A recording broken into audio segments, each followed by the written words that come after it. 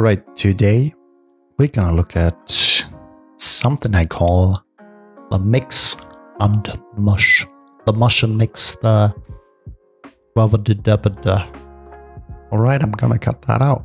Um, today we're gonna.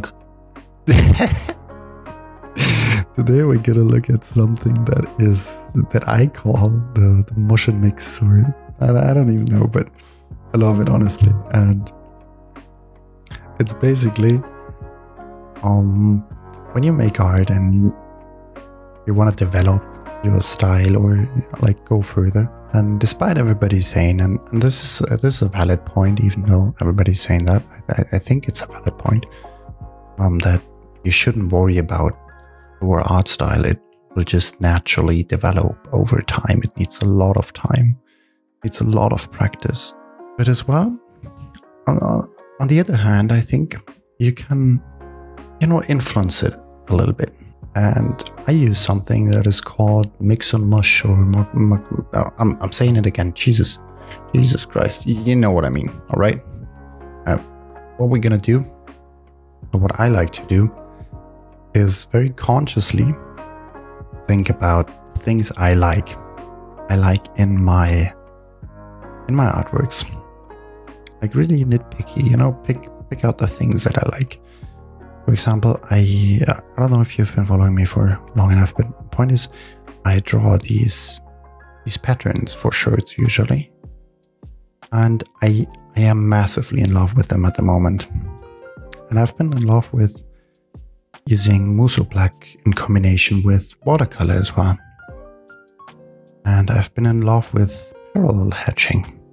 So I'm combining all of these things in, in two different paintings. So I know I'm, I'm in love with patterns currently. I'm in love with with this dark black in combination with watercolor. So what I do is I just really consciously think about it and I write it down. So I make make, make a list. Uh, in this list, I noticed as well while I was brainstorming, not necessarily brainstorming, but writing things down that I know I love. I was as well writing down. Hold up, I, need a sip. I need a sip.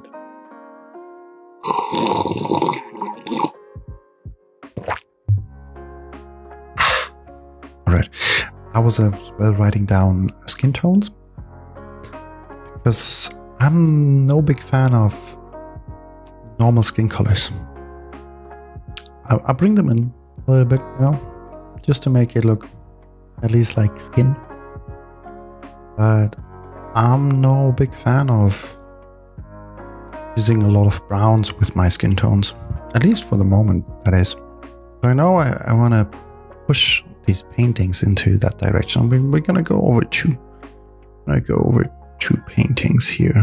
And you see me, I, I've included this as parallel hatching in the hair because Eh, on one hand I, I love the hair to be black, but on the other hand I love them to be hatched.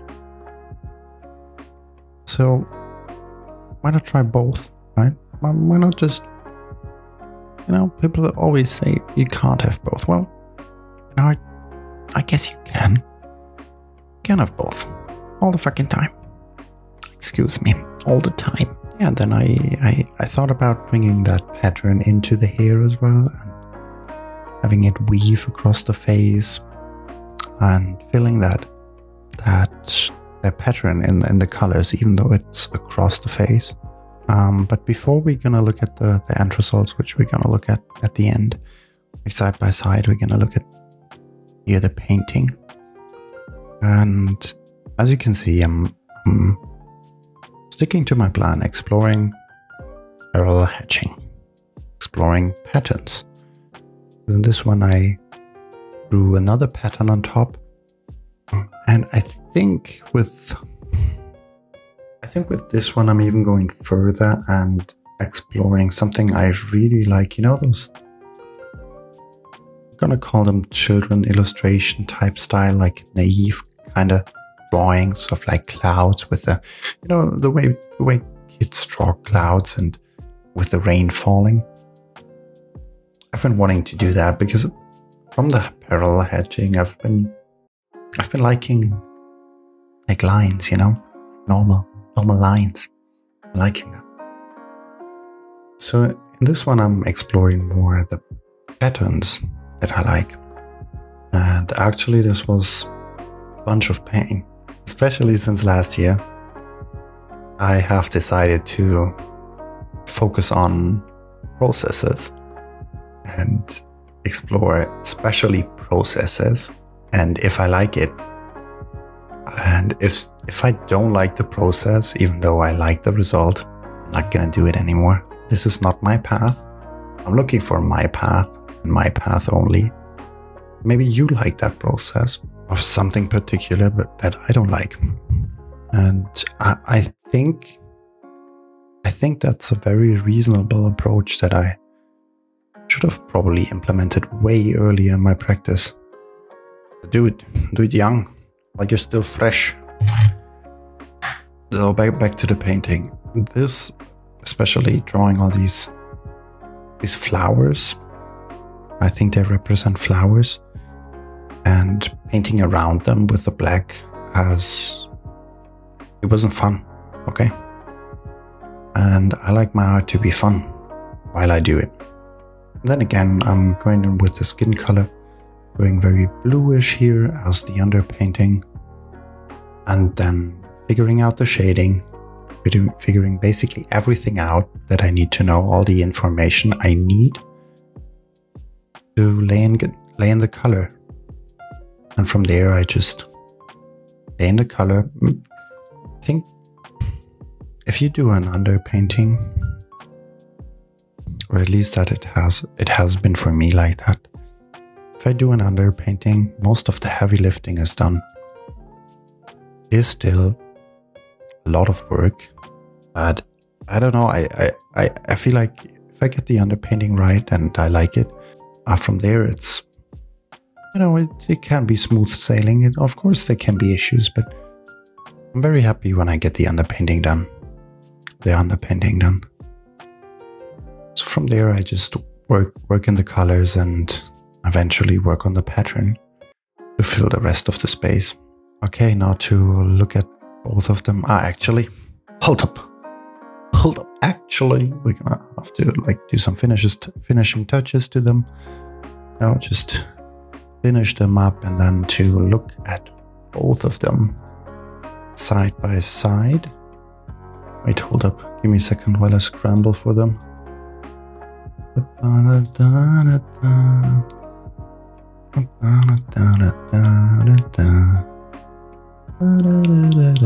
Where are they? Here they are. Okay. I think on in the second one, you can see there's a lot of patterns going on. There's a lot of black as well, a lot of like breaking of the black. I've been as well thinking of breaking that normal hair type uh, form of the black. And I think uh, the, the face is working pretty well with the hair, or the, the hair is working very well with the cutout shape of the black. It almost, I don't know, it reminds me of a tree for some reason. Kind of looks tree-ish. Cut patterns, I think they, they work fine. It's not that I don't like it, but I know I didn't like the process. I absolutely hated painting around those um, those those flowers, those abstract flowers. And I, I don't think I will ever do that again. Then coming from the left, those those lines. So there, there are a lot more patterns in that, and I think that's something you can choose co very consciously to to try and experiment, um, not just by chance and hoping you find something, but on the left side, which is the first one, I did include one of those ideas that I've had for a while, which was to instead of having those those lines just with ink in the uh, from the from the textile that I would use a white marker and I know I'll, I'll continue using this because I've painted these a little bit ago. I'm just now getting to record it. But yeah, I like that. So, you know, I, I take it, I like it, take it and I put it in my little box because I know I like it. And I didn't mind the process, it was still fun. So, therefore, it goes into my little box. Alright, I think that was enough rambling, enough yapping. Go mix some mush, go mush and mix, go take all the things you like and put them into one. Have fun.